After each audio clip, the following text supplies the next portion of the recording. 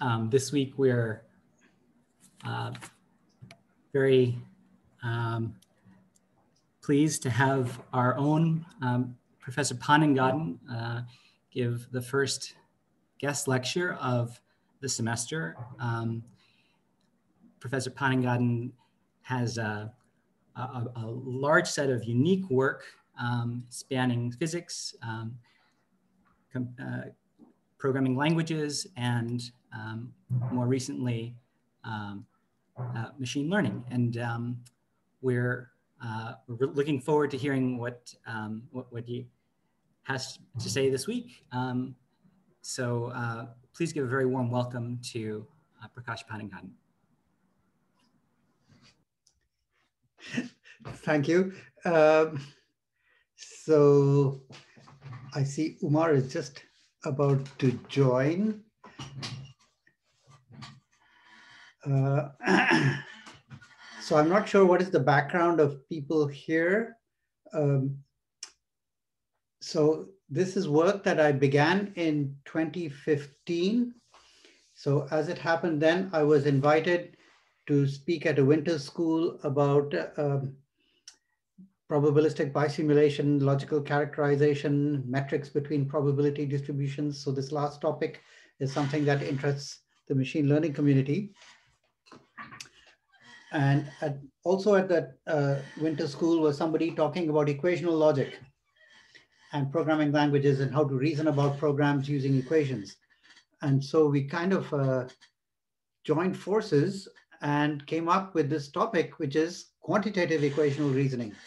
So I'm not going to assume that everybody knows equational reasoning. I mean, in some sense, everybody does know equational reasoning. Everybody has manipulated equations, but to know the formal theory of equational reasoning is something else.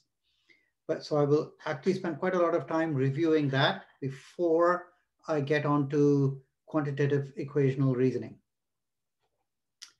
Normally, I present this to a community of logicians or people in programming language semantics.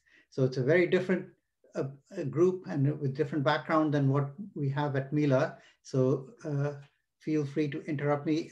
I assume from the size of the audience, this can be completely informal. You can interrupt me, you can unmute yourself and uh, just ask me questions. So fundamentally, equations are at the heart of mathematical reasoning. I believe that the equality sign, the two parallel lines, is the oldest symbol still used from its original form in mathematics. It's rumored to be 1500 years old. So if you think about programming languages, it, reasoning about programs is also based on program equivalences. So when I talk about reasoning about programs, I mean things like proving that a certain program has certain properties, for example, that it terminates or that it behaves in a certain way or that it computes a certain function and so on. So this kind of subject has a rich mathematical theory behind it called programming language semantics, and it has many logical formalisms for reasoning about the properties of programs. And many of these uh, logics are based on the notion of when are two programs equivalent. It was actually investigating such things that led me to the study of bisimulation and Markov processes. I started out by studying the equivalence of probabilistic programs. So to uh, plagiarize a title popularized by David Mumford, I would like to call this the dawning of the age of quantitative reasoning. So one has moved beyond mere equivalence to a quantitative notion of distance. And this is what quantitative equational logic is about. So we want the quantitative analog of algebra, basically, and that's what I'm going to present. So we, uh, so in order to do that, of course, I should explain in some general sense what algebra means. So I see Guillaume has just joined us. Um, hi, Guillaume. Uh, I'm uh, summarizing what I'm going to talk about today. The crucial change that happens when you go from standard equational reasoning to quantitative equational reasoning is that you move from the concept of equivalence relation to the notion of metrics, or to be more precise, what I call pseudometrics. Uh, so pseudometrics are in some sense exactly the quantitative analog of the notion of equivalence relation. And if you like to think in terms of what the relevant notation is, you can think that what we're going to do is introduce a notion of equality, but now indexed by a real number epsilon.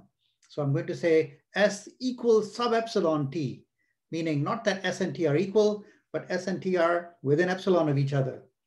Now, okay, you might think, yeah, that's, that's a, you know, a hack that you can introduce to uh, talk about equational reasoning.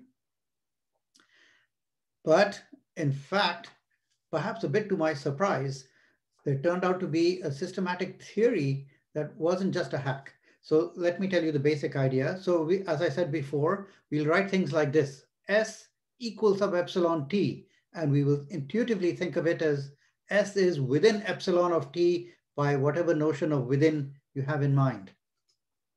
So this is absolutely not an equivalence relation because if S is within epsilon of T and T is within epsilon of U, there's no reason why S should be within epsilon of U. More likely S is within two epsilon of U or maybe a bit less, but definitely you cannot think of this as an equivalence relation.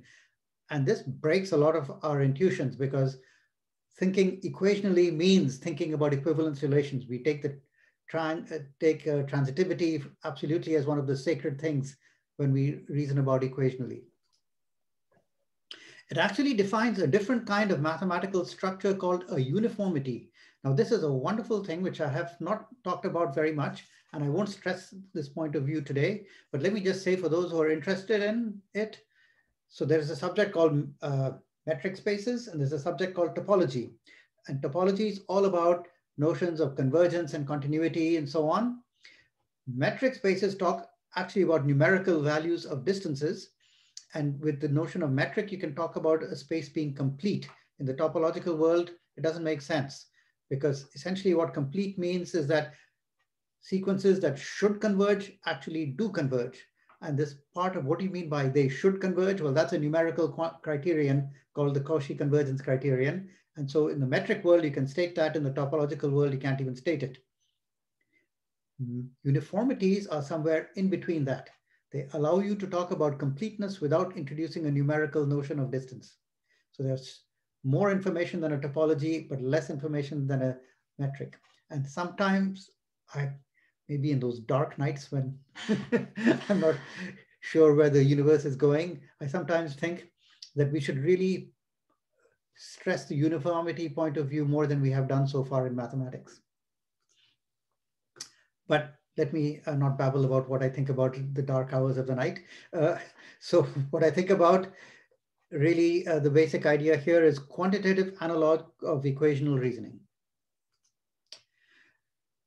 So equational reasoning is not just fiddling with equations. There's actually a wonderful, rich subject, mostly developed in the 1930s and mostly by a single person, but several others also. But the name most associated with equational reasoning is Garrett Birkhoff. And he proved very, very fundamentally two fun, uh, theorems. One is the completeness theorem, which basically says if uh, a, a property of a whole class of algebraic structures will hold if and only if you can prove it from the axioms.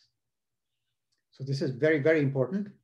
Uh, he also introduced the notion of a free algebra and their universal properties. So those of you who've studied some algebra will be familiar with free group, free monoid, but these are all instances of a general thing called a free algebra. And he gave the general definition. But he also proved a really, really great theorem called the variety theorem, which I'll tell you about a bit in a bit.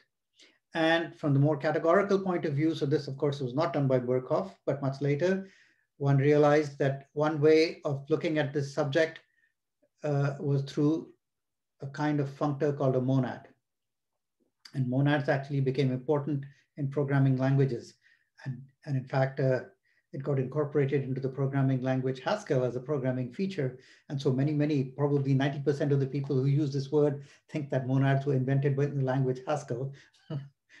it was really the other way around. okay, so now to serious business. Uh, so let's introduce ordinary non-quantitative universal algebra. That's what the subject was called, universal algebra, the kind of meta theory of what algebra should be about. So first of all, we have what's called a signature. And what does a signature consist of? It consists of a bunch of operators. Each operator has associated with it a numerical arity. This simply tells you how many arguments it takes. So a familiar example is the signature of the integers. It has two operations, plus and times. Actually, it has four operations because it has a zero and a one, which you can think of operators with zero arguments. Okay, so the arity of plus is two because it takes two arguments and produces a thing in, in your structure. Multiplication is another binary operator. So these are the two binary operators. Other theories may have ternary operators. And later on, when things got fancier, people realized that you could have infinitary operators. And it turns out that certain things that don't look like algebra are actually the algebraic theory of operations with infinity, infinitary operations. And a classic example of this is the theory of compact Hausdorff spaces, which one tends to think, hey, that's topology. Turns out this is algebra with a certain infinitary operation about limits. But anyway, I'm getting ahead of myself. Once you've introduced this signature, so this is so far only notation. I'm just saying there are these things called operators, and I'm including operators of arity zero to stand for the constants. So I'm viewing constants as special cases of operators. Once you have operators, you can now build what are called terms. So terms are basically complex names for the things in your algebraic theory. So a term can contain variables and given a bunch of variables and the constants and the operators, you inductively build up these terms. So for example, once I tell you zero and one are constants and plus and times are operators, and you say, okay, one plus one is a new term. One plus zero is a new term. Zero times zero is a term. And then I say, hey, you can have variables too. And then you say, oh, cool. X plus Y plus zero is a term. X times Y plus, and so on. So usually, uh, if you just have zero and one, you can't do a lot of arithmetic. so we often introduce something called the successor function, which is a unary function. So then you say, oh, you have successor of zero and successor of one, so, sorry, successor of successor of zero and so on. And usually we give these things shorter names like one, two, three, and so forth. And so you can build up an interesting set of terms, but we haven't said anything about these terms yet. They're just there. We've been able to name things. Now we start saying non-trivial things and we say these things by introducing equations. So the intuition behind equations is clear, but I need to formalize what they mean. So we're going to introduce things called axioms, and these are essentially sets of equations. Now, not all axioms take the form of equations. And when the axioms are pure equations, we call it an equational theory. And so not everything is an equational theory. Some things are described by equations, some are not. But what do you do with these equations? You deduce things. Starting from your axioms, which are given as equations, you can do certain uh, transformations and deduce new equations. And this whole notion of deduction, this is what logic is about. So we have the usual rules for deductions, namely, for example, the rules of an equivalence relation, the rules of a congruence. So congruence says if x equals y and u equals v, and f is an operator, then f of xy equals f of uv. So you can, it's not just that uh, equality is preserved, but equality is preserved by the operations. And finally, we have a concept of theory. So I give you a bunch of axioms and I say, what are all the consequences from our rules of deduction? And you'll get some big infinite set. That big infinite set is called a theory, the set of all the equations that you can get by carrying out deductions. Now we want to talk about algebras. This stuff that I've talked about so far is still just notation in some sense. We need to interpret these things and the, we interpret these things in algebra. That's what algebra is about, the interpretation of these sets of equations and operations. So I'm going to look at special kinds of algebras called one-sorted algebras. These are the algebras you're familiar with. But a simple example of something that's not one sorted is vector spaces, where we have vectors and scalars. But usually if you look at things like groups, rings, fields, these are all, there's one kind of thing there. Okay, so we call them one sorted algebras. And for simplicity, I will mostly stick to one sorted algebras. Occasionally I'll mention vector spaces. So we have the signature associated with the algebra, as I described before, a set of operations, each with a fixed finite arity, and I'm going to insist finiteness on the arities now. So given the signature omega, I'm going to say an omega algebra is basically just a set A and to interpret and an interpretation of all the operations. And what I mean by interpretation is that for each symbol, so in the signature, F is just a symbol. It doesn't mean anything yet. But when I talk about an algebra, I say now I'm interpreting it. And the interpretation is some bona fide function from n tuples of A to A.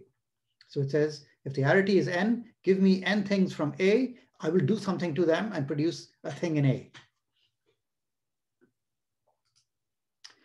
So given this notion, uh, general notion of algebra, so this is what the subject called universal algebra was all about.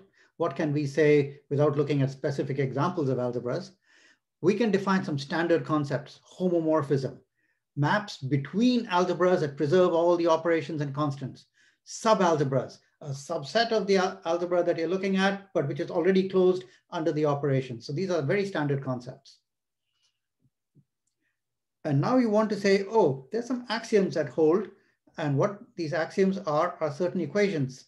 What are these equations? How do we specify what they are?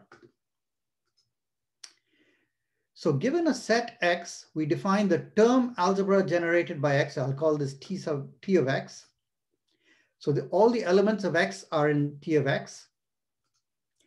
And then I'll define it by induction. If I say I have a family of things in T of X, and f has arity n, then f applied to all those things is also in T of x. So I can build up more and more things. So I've just introduced a bunch of random things in my set x, and I say these are like new constants.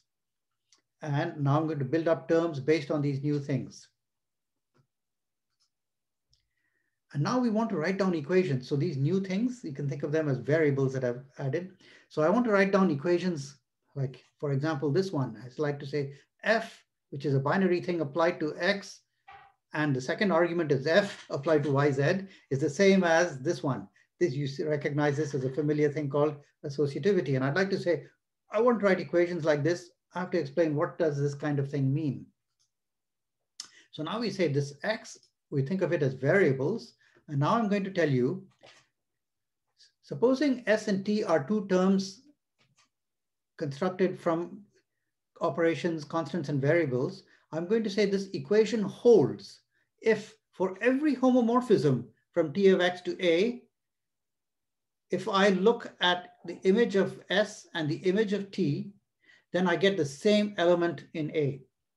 If that always happens, then I'll say this equation, S equals T, it actually holds in the algebra A. Okay, so it says, doesn't matter how you interpret the variables, whatever you do, then you apply all the operations, then you see what you get, you must get the two instances of the same thing. If that happens, then the equation holds. If it doesn't happen, the equation doesn't hold. So supposing we have a set of equations between pairs of terms in T of x. So notice one thing that's happening. I've described algebras, but then just the raw terms themselves itself is an example of an algebra right? Because I have the operation automatically defined just by the inductive thing of saying put the f around the subterms. So the, this collection T of x itself is an example of the algebra. That's why I can talk about homomorphisms from T of x to A.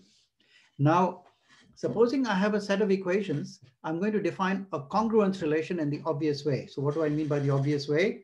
I'll say I've got this equation, so I've got already some terms that I know are equal. And then if I apply f to a bunch of equal terms and f to the to another set of terms that are equal to the first set, those two things are equal.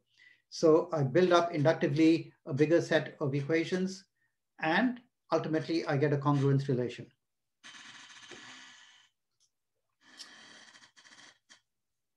once you have a congruence relation, you can quotient your set of terms by this congruence relation. And actually what you will get uh, is that these operators are actually restrict sensibly to the quotient structure.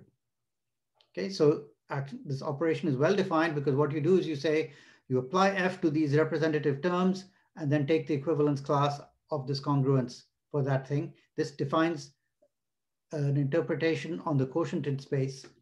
And that's a well-defined instances or instance of this algebra. Okay, so I've shown you how to build one algebra from the terms, but there could be many. If I look at all the omega algebras setting, satisfying a set of equations, we get something called a variety. So this is a terrible clash of terminology because there's also something in algebraic geometry called an algebraic variety. And that's a totally unrelated thing.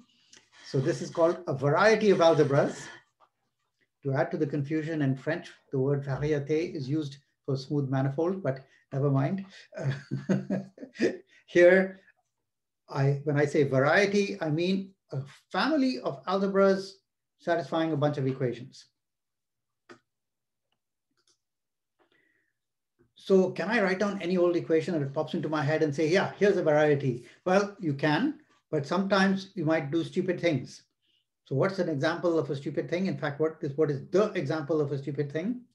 If you derive the equation x equals y, where x and y are just variables, that means, hey, I just got these two completely unrelated variables and one of my equations says x equals y. So that means any substitution instance has to hold. So that means any two terms are equal. That means in any algebra, any two elements are equal. In short, I only have one element algebras. So this means the whole theory has degenerated. And so this is an example of a bad equation or an inconsistent set of equations. So what are examples of these varieties? Monoids. Okay, uh, I assume everybody's familiar with monoids. Uh, groups, rings, lattices, and by the way, I don't mean the number theorist lattices, but I mean the uh, algebraic lattices, which are uh, sets equipped with two binary operations, which you can think of as like meet and join. Boolean algebras, which are lattices, which in addition have a notion of negation. All these things are examples of varieties. All the defining equations are bona fide equations. What have I left out of this list? So there's vector spaces. I didn't include it at first because vector spaces have two kinds of things, scalars and vectors, but apart from that small detail, it's essentially another equational variety. But fields are very annoying and they don't fit this pattern. And why not? Because fields have an operation called inverse, multiplicative inverse, but not everything. So you have to say, if x is not zero, then x inverse exists, and then you have the equations for multiplicative inverse. So this is not an equation, it's a conditional equation. And this actually ruins the theory. Fields do not fit this pattern and they break many theorems. Do you have a question, Guillaume? Yeah, I was just thinking, if you extend the real with the infinities, like the extended reals, do, do you get something? Can you define this field as a in an equational way? Because you solve kind of this problem, no? By saying x inverse equals infinity? Yeah, no, does that work? I, very naive, but interesting idea, but I'll actually tell you in some very fundamental way that that fields are broken. Okay. And are not cheaply fixed.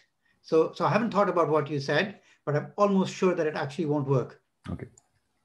Unless you make it so different that it becomes unrecognizable from the traditional fields. But, uh, but I have to tell you why.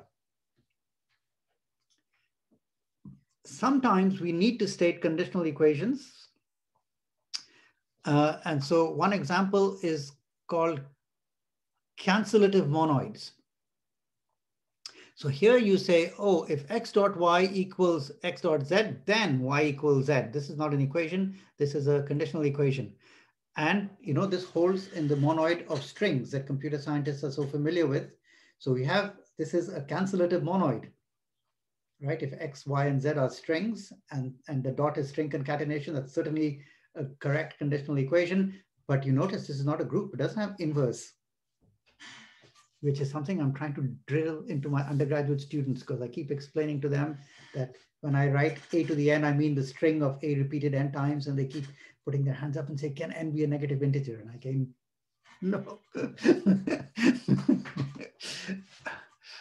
All Well, right. Prakash, Yeah. um, could you could you include um, topological spaces in this if you just dealt with the collection of open sets? Like, would that fit within this framework of universal algebra?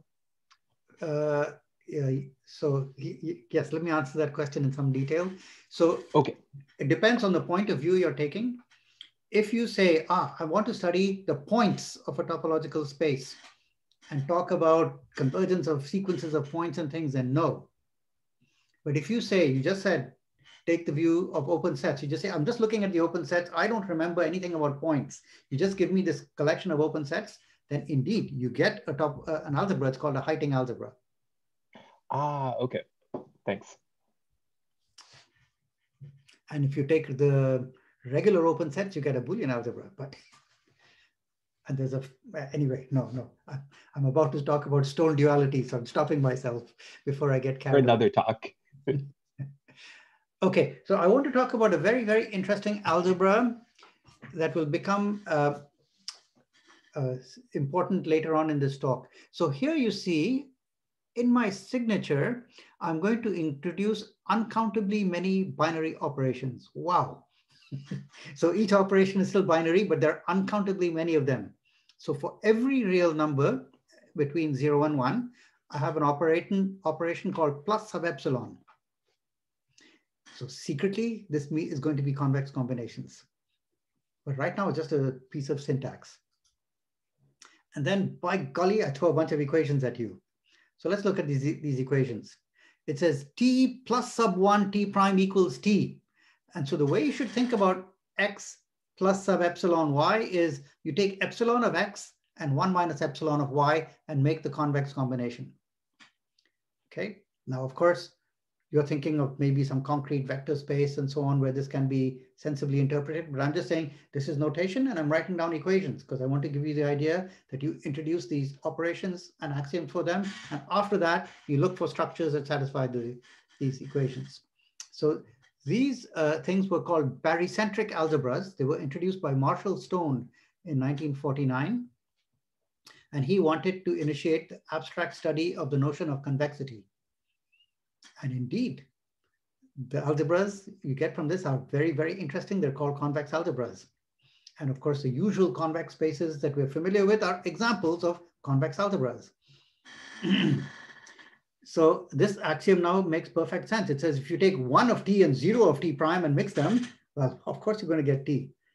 And if you take a mixture of t and itself in any ratio, then of course it's just going to be t.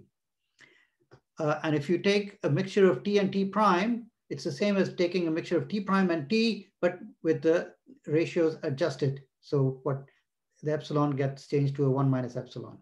So this is not quite commutativity. And this name SC stands for skew commutativity. So it's commutativity with a twist. And this guy is skew associativity because you say, okay, I can group it in the other way, but now I have to do some gymnastics with the numbers so that they all match up. And there's some small probability that I've actually written the correct formulas here. But even if I haven't, the way you figure it out is you draw the two trees and you just make sure that things balance correctly. I did it once, but when I do calculations like this, very error prone. But anyway, this is an example of what I mean by I wrote down an equational algebra. So of course, groups, rings, fields, and all you're familiar with, but this one you're perhaps not familiar with. But now that I've told you the operations and the equations, you understand it perfectly. What you're dying to know, of course, is examples. And you can cook up your own examples because you've seen these examples before. Sets of probability distributions, for example, satisfy these axioms. okay, so now I want to talk about a very, very important concept called a universal property. So I'll use this horrible notation K of omega comma S.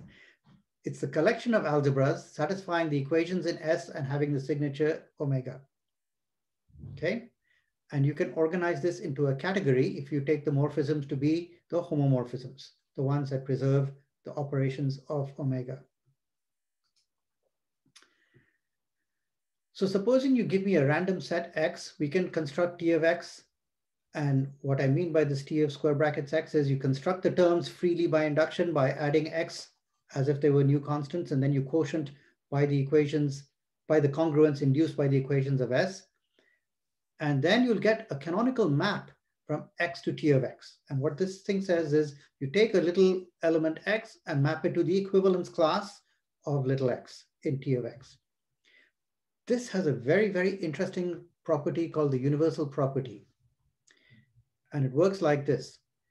Supposing I take any algebra whatsoever in this family of algebras, I take any algebra, script A, I forget about the algebra structure and only remember the set. There's some set A. I take any map whatsoever, alpha, from X to A. Now, X and A are just set, so we've forgotten anything about algebra.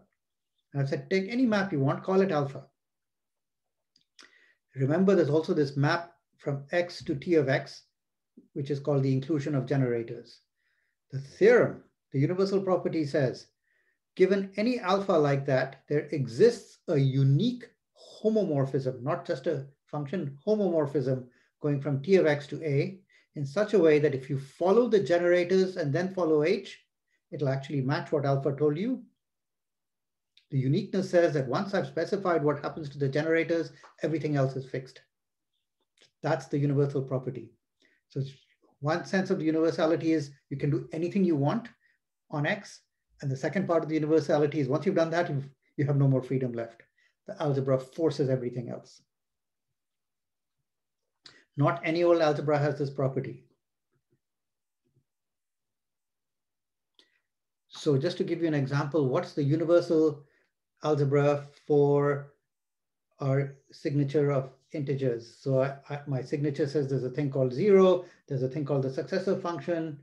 Let's forget about plus and times, just think about zero and successor.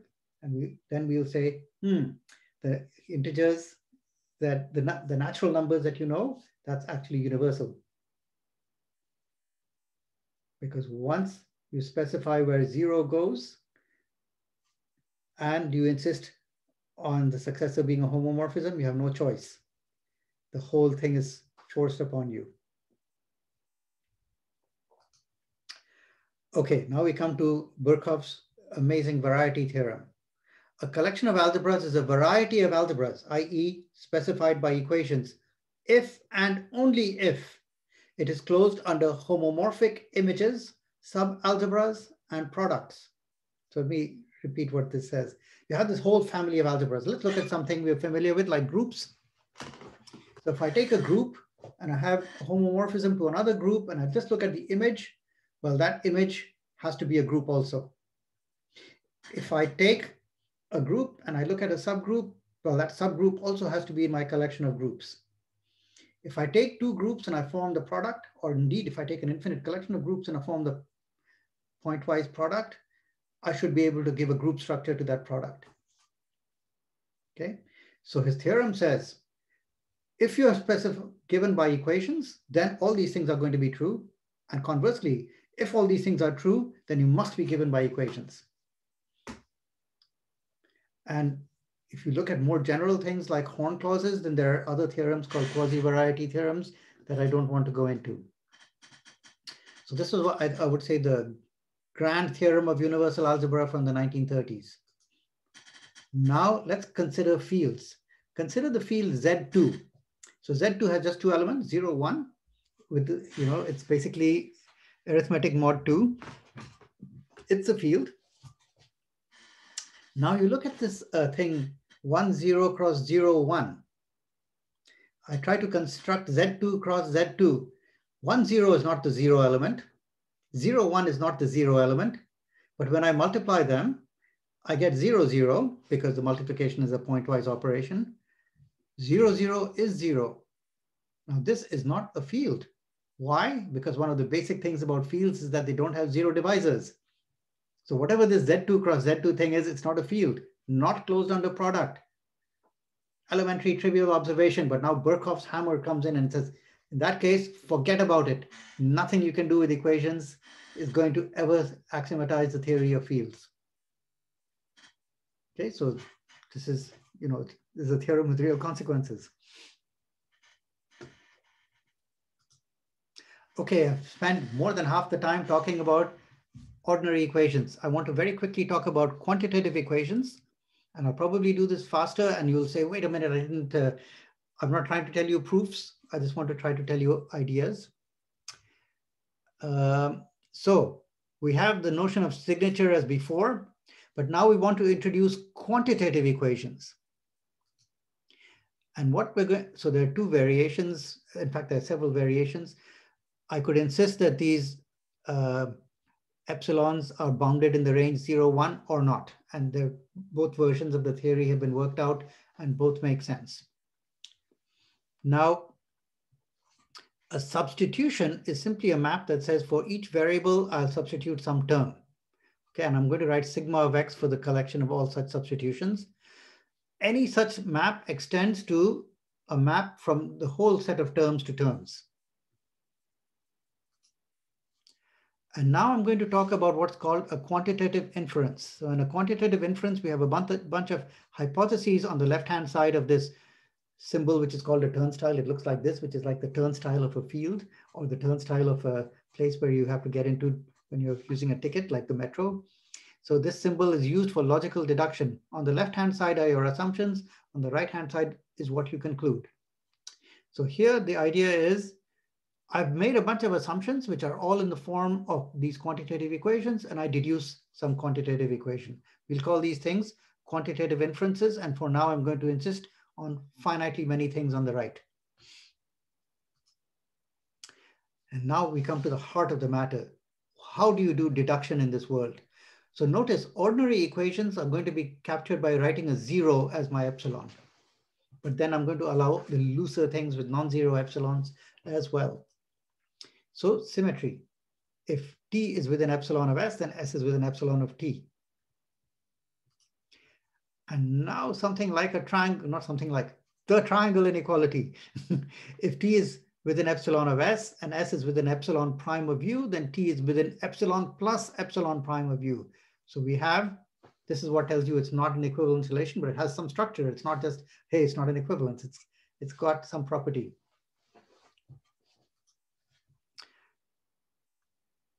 The interpretation of this epsilon is that, by the way, you're at most epsilon apart, not that you're exactly epsilon apart. So if you're within epsilon, you're also within a bigger epsilon. So if I add a little epsilon prime, that equation is also automatically valid because it's basically a looser statement. Okay, so, right? and here is the important infinitary continuity rule. So it says, if you've got a whole bunch of epsilons converging, epsilon primes converging to some epsilon, and you're able to prove that t is within epsilon prime for any of those epsilon primes, then it's within epsilon. Okay, so this is kind of reasoning is continuous kind of property in this world. And this is crucial. Without it, lots of things break up. And what I actually like about this is this kind of coming together of analysis and logic in this subject because it's not pure logic. It's not traditional analysis either. We have a very important condition, which many people have bitterly complained about, called non-expansiveness. And so it says, if I have a family of pairs of terms all within epsilon, you see T1 is within epsilon of S1, all the way up to Tn is with an epsilon of Sn. And then I have two function symbols and I applied f to those, both those corresponding families, then those are at most epsilon. So that means applying an operation can't push things apart. It might bring them closer together, but it's not going to push them apart. Very important. And it's kind of the analog of the congruence property for equations. It means you can compose things. You can build structures up and your equations will not get worse and worse. We have a substitution property, which says if you've got an equation like that, then every substitution instance also holds. If for every, so supposing from this assumptions gamma, I can deduce phi for every phi in some set gamma prime. And then from gamma prime, I can deduce psi, Then from gamma, I can deduce psi. So this is chaining together deductions. This is called the cut rule.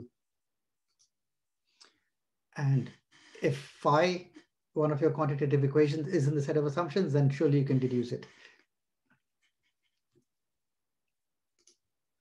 Okay, so that's that's the whole the important part. The how do you do deduction in this quantitative world? And now we have quantitative equational theories coming out of it. Oh, can, can I ask a quick question about that, about the last slide? Yeah. Um, so it, it seems like all of these are properties that uh, are sort of desirable to have this um, sort of parameterized equality uh, satisfy, but are these things that you're necessarily going to assume all of these in the following? Like Yes. in, in particular, the non-expansive property, I could easily imagine settings where, uh, you know, some of the functions f don't satisfy that. So Yes. this is just something that whatever theories we're describing in, in the following, all are something that has to satisfy Yes, and all of these axioms. as I said, people uh, universally complain about this particular one.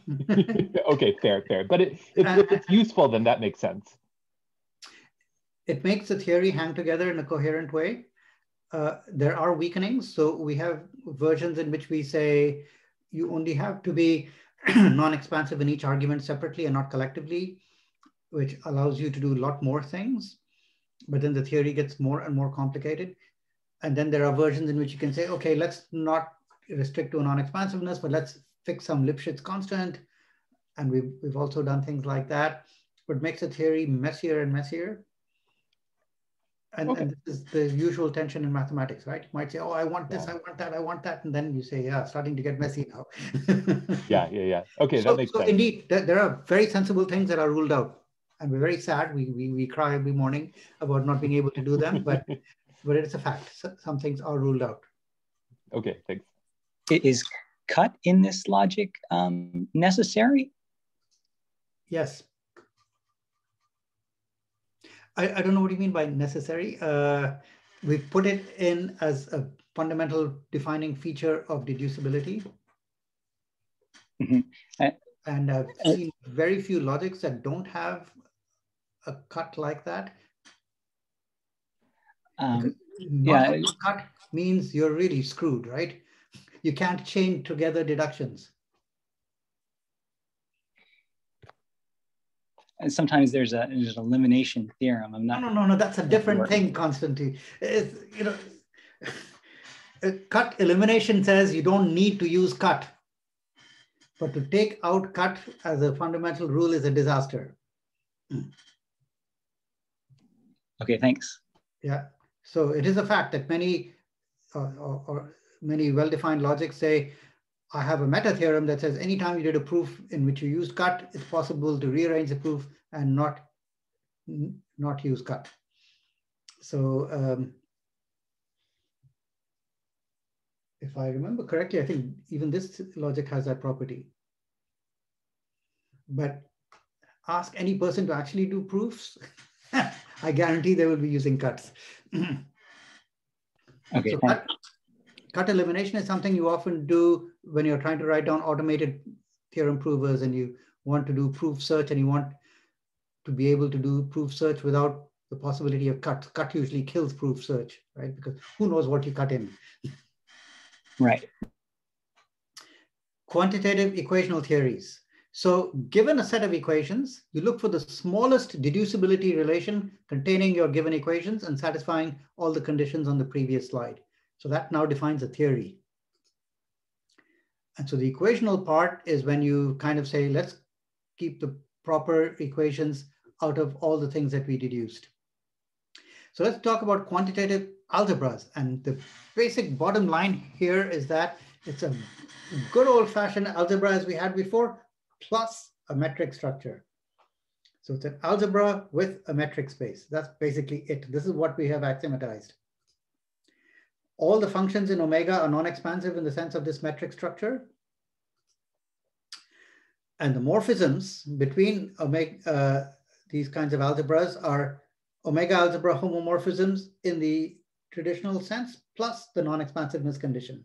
So there's a kind of a metric aspect and a traditional algebra aspect merged to, together into these things. So Tx is just an omega algebra, doesn't yet have metric structure. Uh, and given any A, you can define a homomorphism like that. So what does it mean to say that one of these quantitative algebras satisfies an equation? So before we said all the substitution instances must correspond to actual identities in the algebra when you interpret them. When you, when you interpret the variables in your terms as elements in the algebra, then compute what do these terms stand for. The two things on either side of the equality symbol must denote the same thing in the algebra. Then we'll say, aha, the equation holds in this algebra. So we want an analogous thing. And roughly speaking, we're going to say, if all the substitutions instances satisfy these inequalities, so you see how we're interpreting them as inequalities, they're bounds on how far apart they can be, then the interpretation of the terms S and T must also satisfy the inequality less than epsilon. So it's exactly as before, except that it's now in terms of this metric structure and satisfying this distance constraint. And we'll say this equation holds in the algebra, so we'll make a double turnstile subscripted by the name of the algebra. That means this algebra A satisfies the equation that I've just written.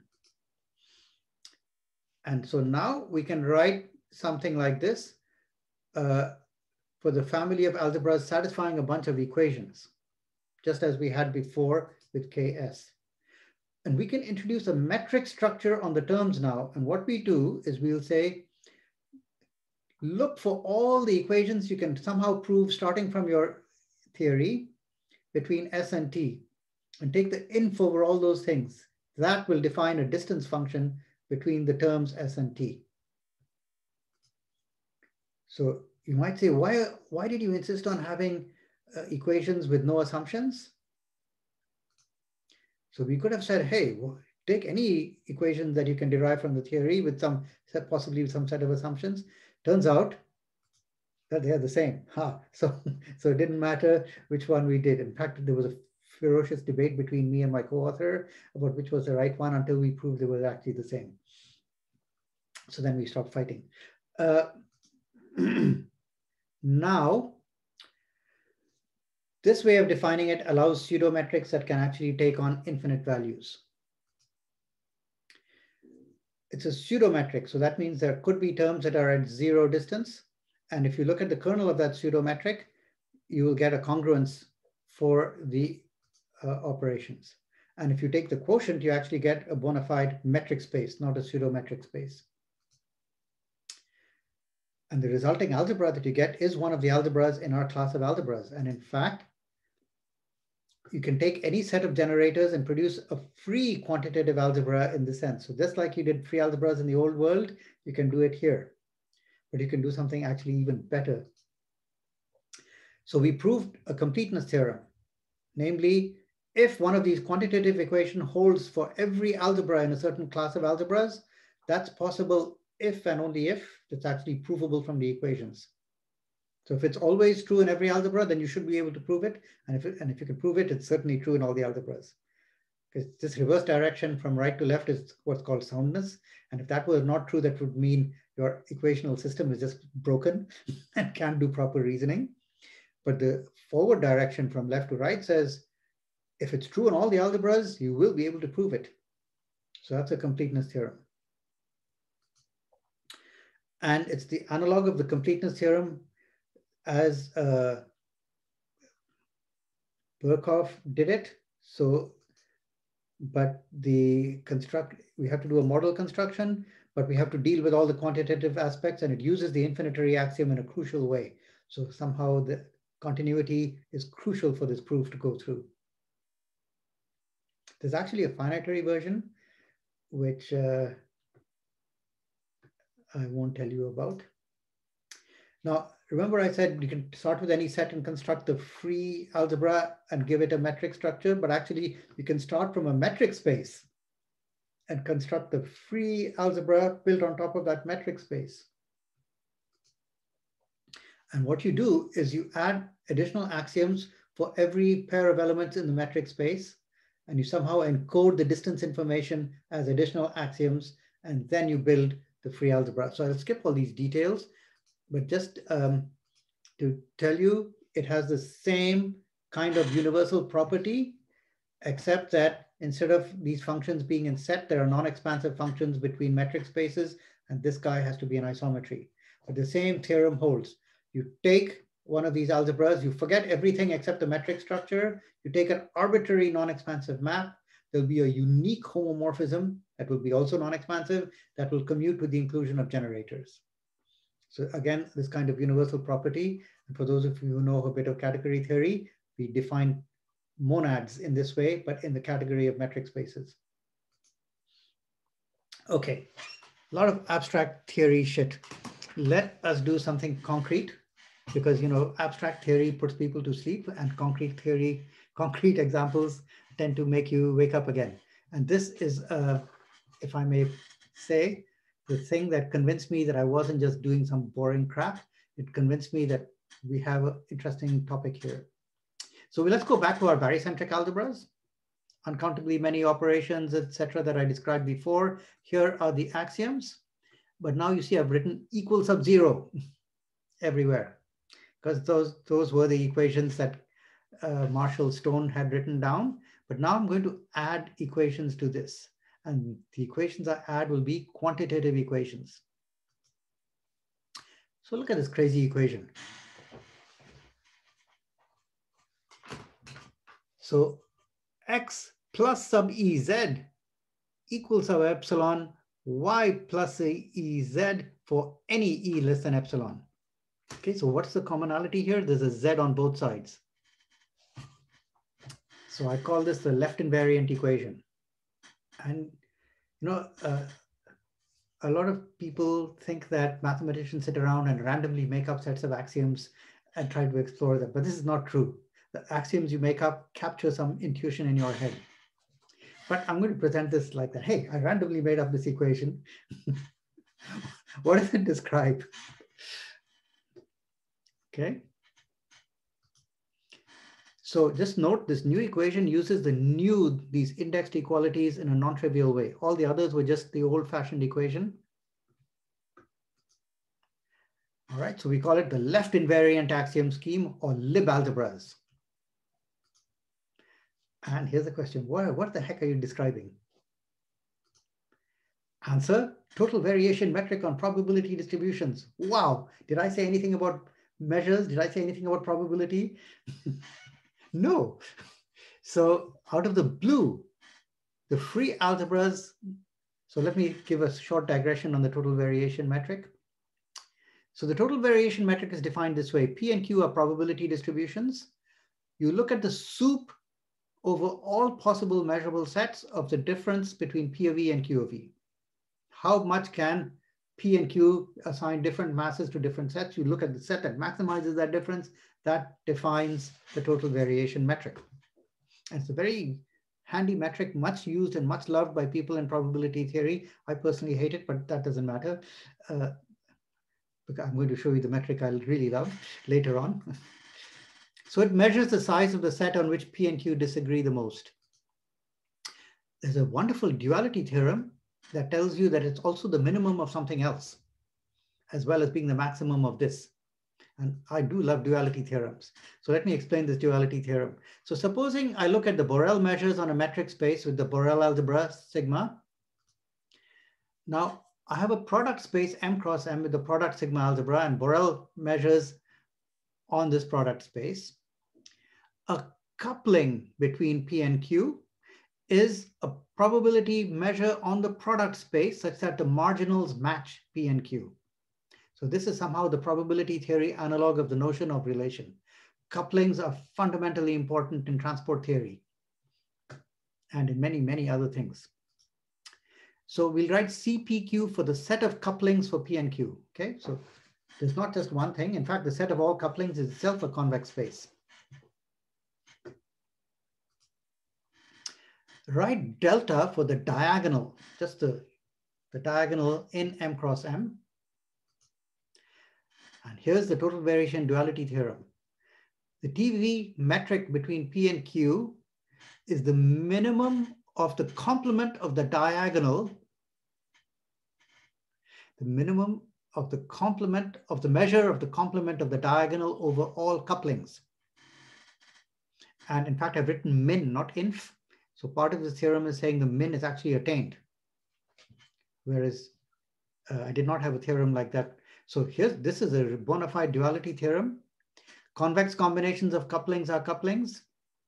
And we proved something called a splitting lemma, which don't stare too much at it, but it's a technical lemma that tells you how to break up probability distributions in such a way that you can preserve convex combinations. So we know that there is some freely generated lib algebra from a metric space because of the general theorems we proved about the existence of free algebras. What is it concretely? That's the interesting question here.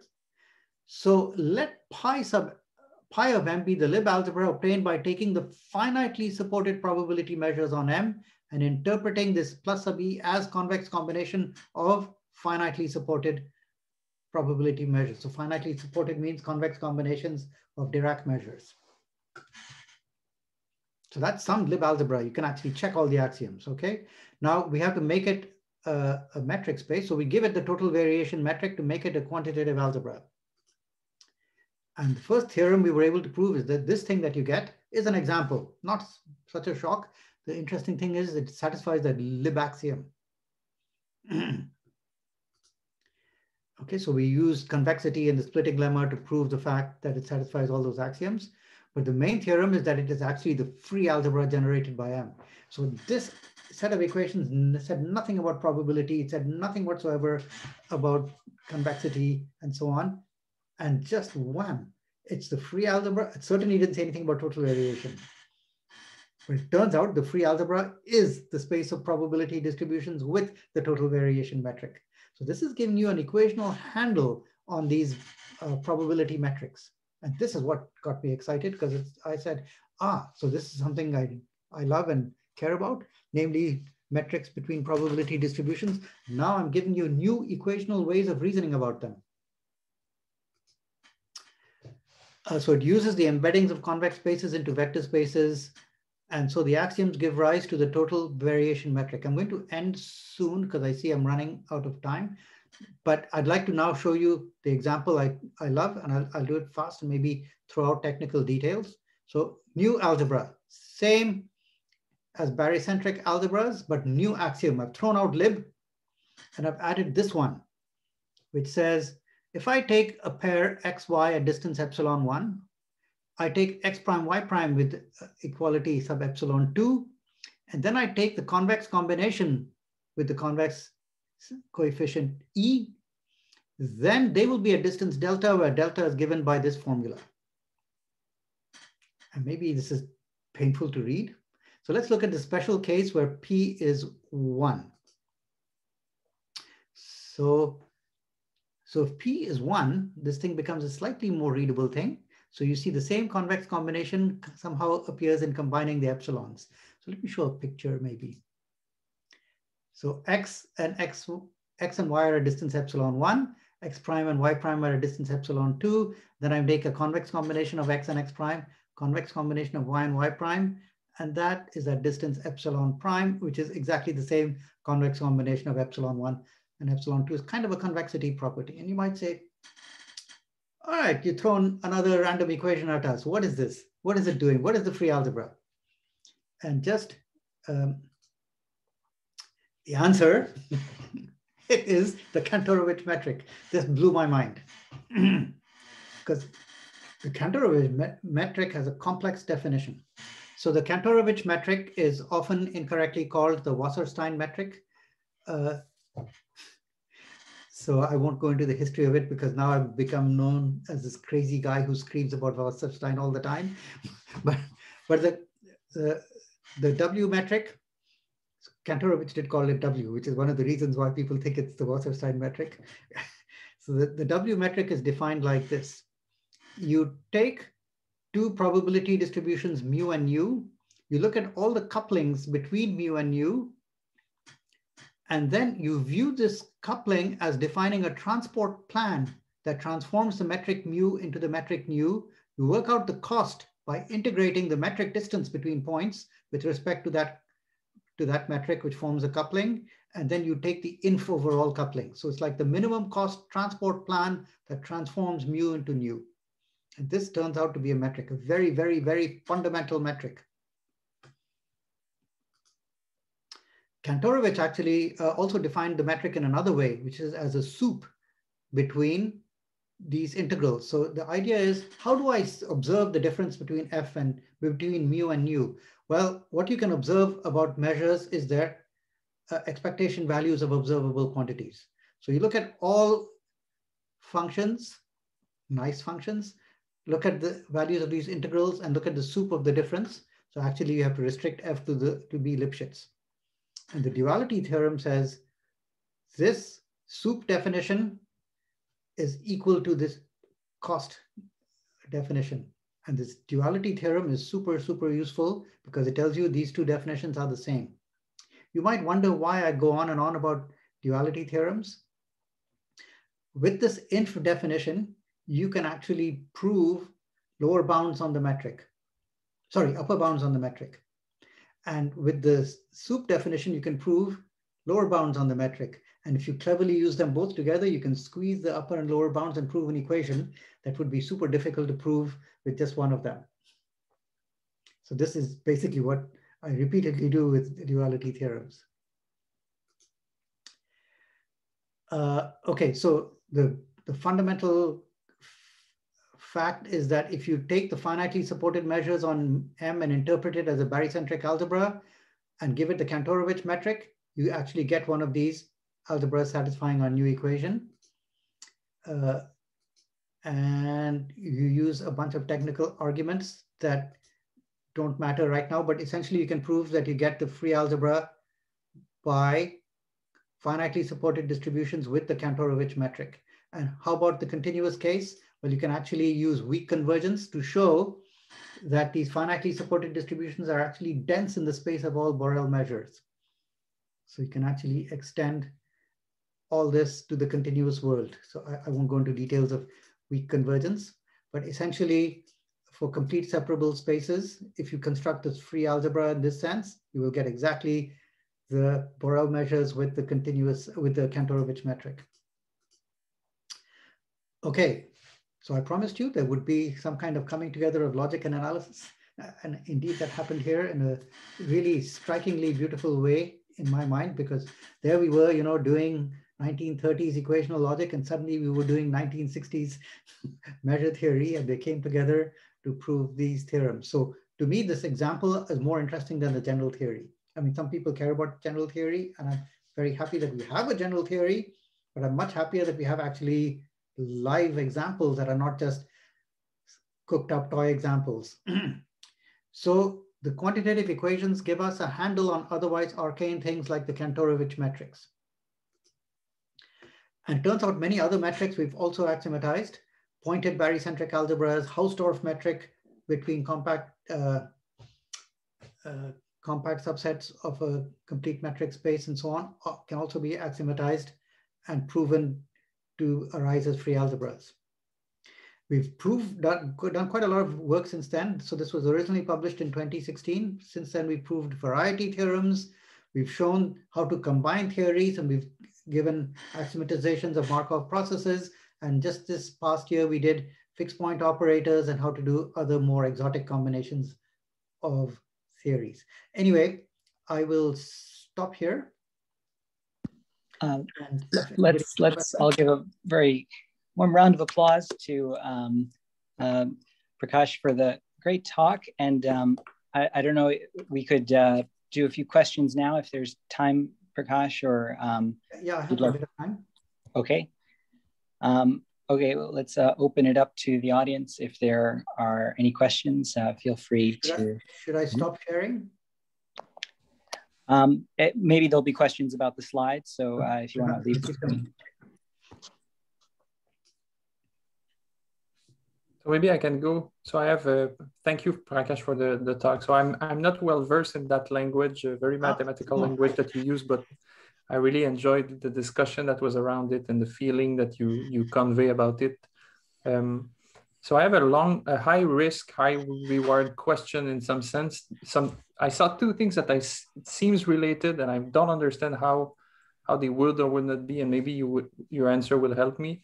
So is the you mentioned that you have the Lipschitz continuous questions on, on, the, on the distance at the end. And I was wondering if this is related to the non-exponential uh, axiom, or I don't know if I say this correctly, but yeah, the non-exponential thing you had. Non-expansiveness axiom? Yeah, yeah. Yeah, definitely related to that because the, the uh, Lipschitz condition says, rather than just saying, well, non-expansiveness is Lipschitz one. So right? That's what non-expansive means. So yeah. we're considering Lipschitz with other coefficients. And, and you can actually develop the theory, but it starts, and if you, if you want to, so one thing we did was in this work on fixed point operators, you want actually contractiveness. Uh, so we used explicit information about the Lipschitz coefficients to tell you when fixed points exist.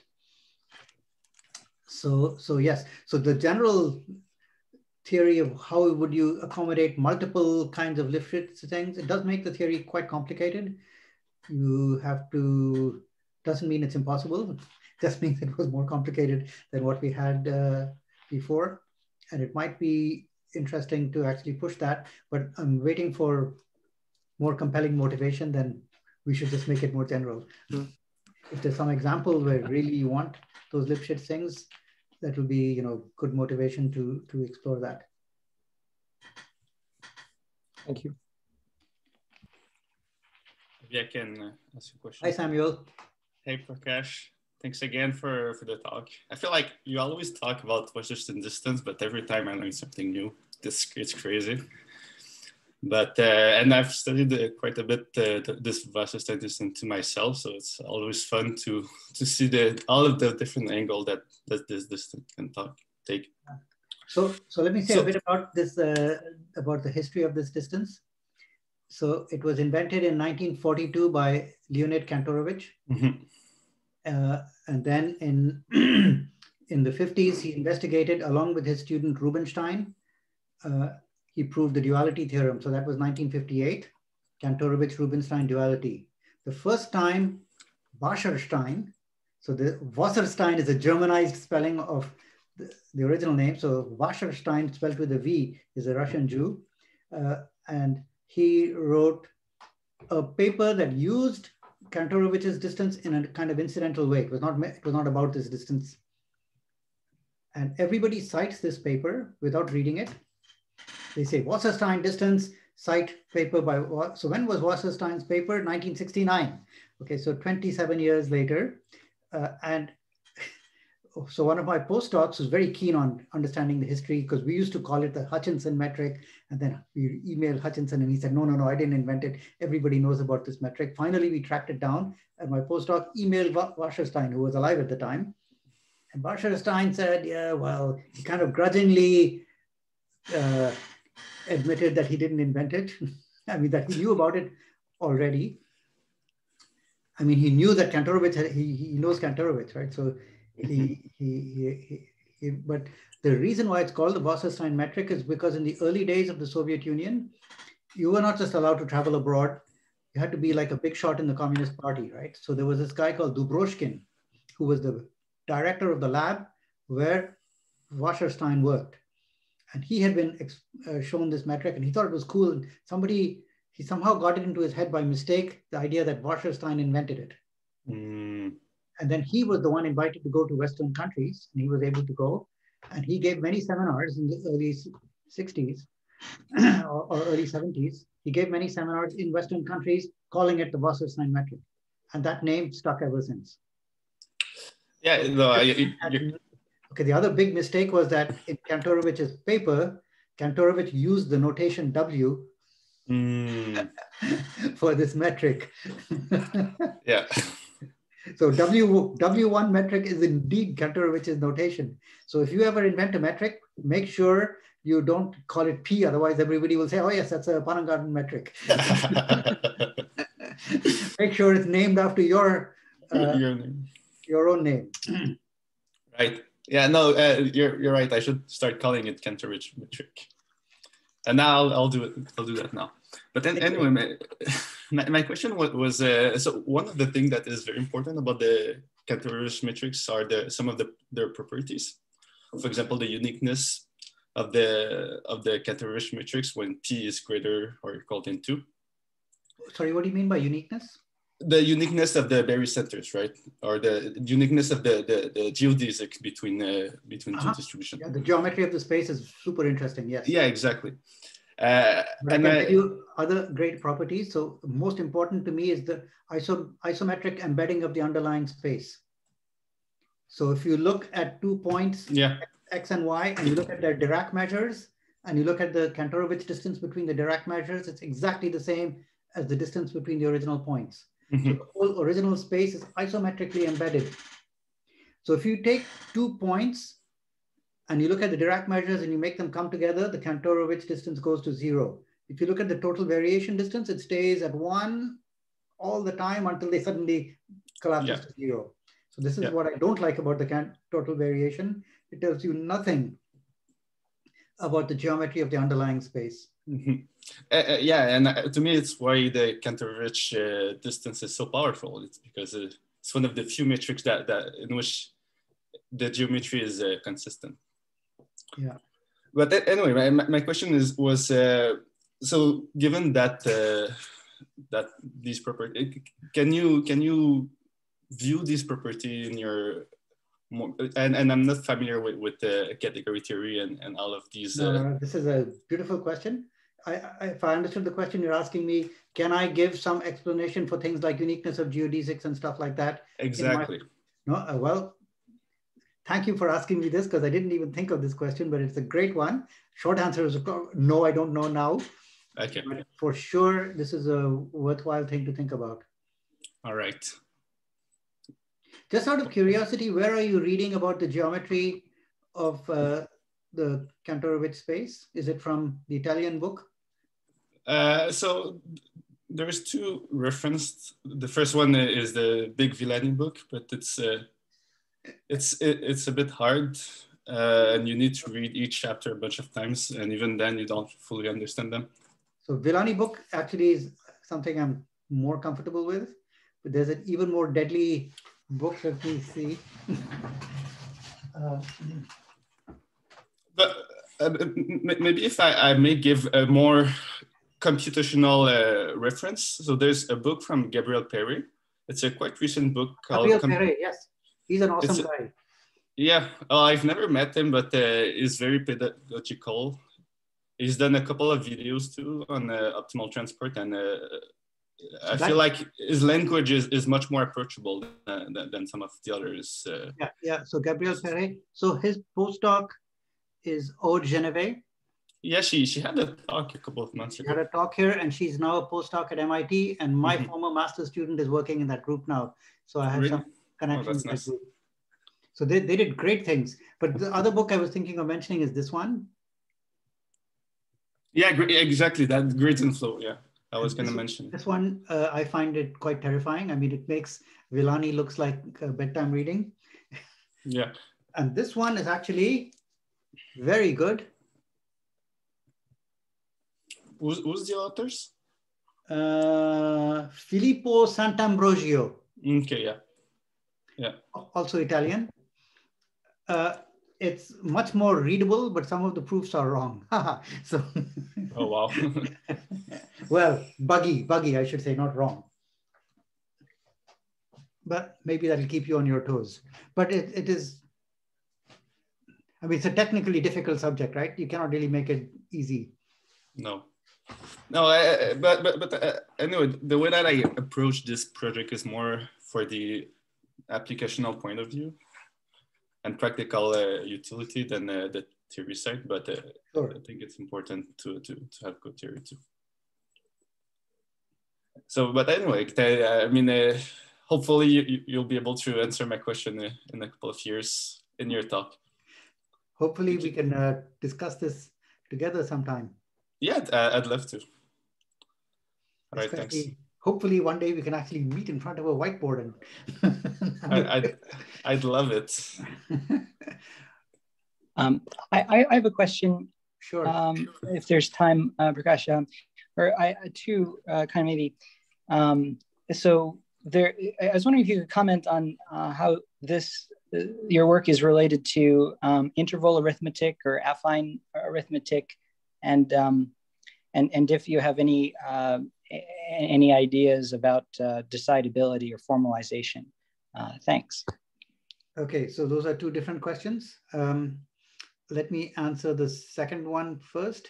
So I had a master's student who tried to, uh, not, not tried to, he, he gave some decidability results about proofs in this formalism. Uh, so obviously you can't decide exact equality of, of you know real numbers, but if you give me some error tolerance, he actually gave some proof on by getting bounds on the size of proof trees. So that was a kind of a proof theoretical presentation, and maybe uh, so then he left, fi finished his master's and left, and I would say there's some unfinished results there. But these are really interesting questions that I would like to uh, address some point, and, you know, decidability and complexity questions. It, it, yeah, it seems like the the epsilon that you have, uh, if that's a, a real field and may, you may be able to use RCF to, to do um, some kind of proof there, but uh, or if you have um, maybe like a, a higher uh, or, order, like a probability distribution over that, then I'm not sure. Uh, yeah, real closed fields. Eh? So uh, the existential theory of real closed fields is already PSPACE, right? so it, it, so so it's um, I, I believe uh, uh, inequalities are um, are uh, decidable. Well, you have uh, decidable, but, but high complexity. Yeah, yeah, it, it's not um, it's not it's not like uh, a linear thing. no, but uh, yes, I I don't like to do these things unaided because uh, you know complexity theory is highly technical with lots of fiddly counting of, you know, epsilons and stuff. And it's not really to my taste. I'm more an algebra slash topology guy. And I get quite frightened of combinatorics, but I'm a I'm a good cheerleader for other people doing combinatorics. I pat them on the back and say, great stuff, guys. Do it some more. But personally don't want to do it myself. you, you, mentioned one of the problems with the fields was um, that, that the zero element. Um, it's not a problem, it's a feature. Okay. um, it's an aspect of the theory of fields that they're not equationally definable. Mm-hmm. Um, well, yeah, sometimes uh, I guess if you have like a dependent dependent type, maybe you can keep track of um, the values. And uh, I, have seen some, mm-hmm. some, you can define a, something over uh, a matrix uh, that gives you something like a field if you keep track of um, the the values that are um, that are occurring. But um, I'm not sure if that's possible in in in this setting, but it might be interesting. yeah, yeah, I don't know.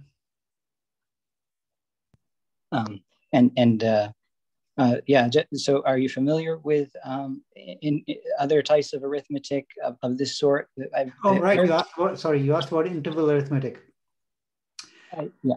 So this is not exactly interval arithmetic, but I guess it's related. So interval arithmetic, of course, you squeeze from both ends. Yeah.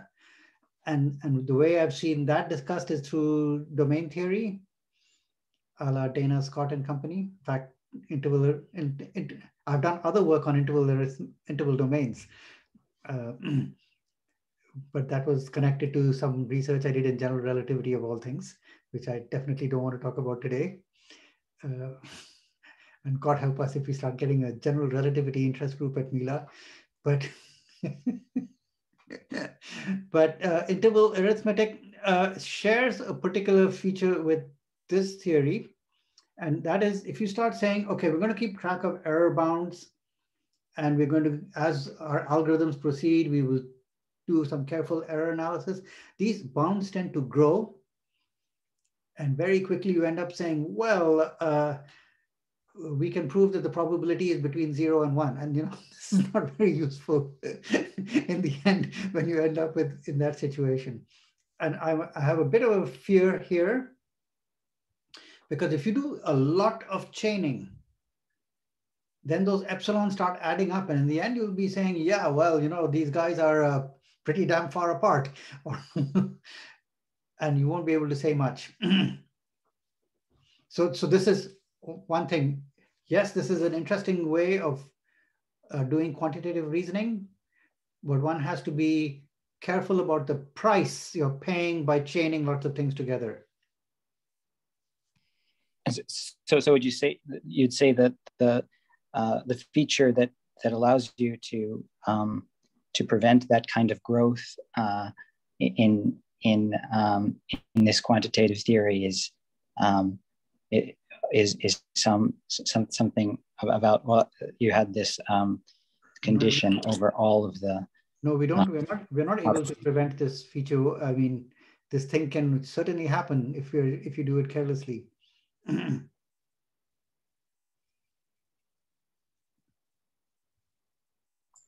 and this is the danger of all kinds of quantitative reasoning. You start saying, yeah, I'll keep track of, I don't know, time time bounds, and then then you will say, yes, before the end of the universe, this will happen. You know, thank you, super useful. but but if it's it's a disc, discrete um, probability distribution, then maybe um, uh, maybe you, you you would have some some um, what I uh, hope guarantees about that. What I hope is that there are few steps which accumulate epsilon and lots of zero steps. Zero steps are free, right? That's ordinary equations. So maybe you manipulate a term a lot, you know, with zero steps, just really restructuring it, and then you do some clever thing with your epsilons a few times, and you get some useful bounds.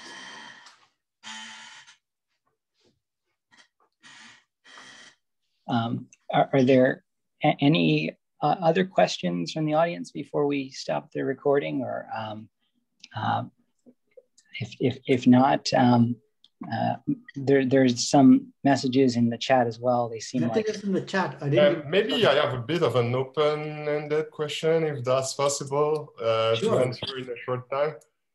Yeah, yeah, go for it.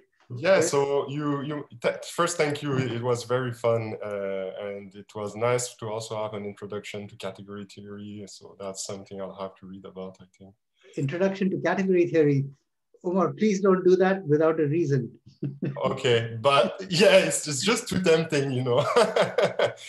uh, so I, I wrote some notes on category theory. I don't know if you found these notes. They're on my webpage. Okay, I'll look for them uh, well, my suggestion was don't look for them. you, should, you should do, you should learn category theory when you have a powerful motivation. Okay, I'll, I'll in, take that. I'll take that it, suggestion. To read it in an unmotivated way, it'll just come and go. That's that's wise. Okay. Um, but anyways, my question was about you. You mentioned a connection to Markov processes, and uh, mm as a physicist, that piqued my interest. So can you elaborate a yes. bit on that? So one of the things, so I talked about these theories, right? So we had a theory for just transition systems without probabilities, and we had a theory for probability distributions, right? This, uh, you know, what we call Kantorovich algebras. And we had this, developed a general concept of combining theories and there's this thing called the disjoint sum of theories. And we showed that if you take the disjoint sum of these two theories, you get the theory of Markov processes, quantitative. Well, Markov chains to be precise, because it was steps, I should say. Uh, and now the more recent paper is about combining it in a different way called the tensor product of theories, where there's now some interaction between the terms. And that way we were able to get MDPs. Wow. Okay. And, and so, the, so there the, it was a case study of, I have a theory of this and I have a theory of that. Can I just put them together and get a combined theory? I see. Okay, thanks. Interesting.